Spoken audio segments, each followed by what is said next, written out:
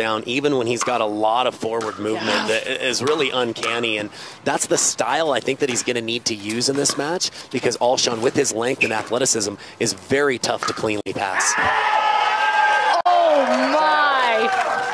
Jaume with a highlight in the early stages of game one. Take a look at this ATP.